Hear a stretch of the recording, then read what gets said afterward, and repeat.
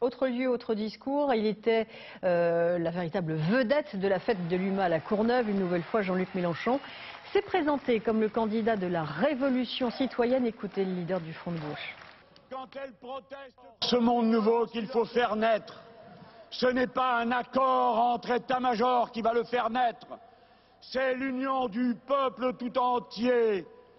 C'est ce front du peuple qui commencera la nouvelle révolution française, la révolution citoyenne qui, pour notre chance, puisque nous avons une élection en 2012, peut commencer là où tout commence pour un citoyen avec des bulletins de vote dans des urnes.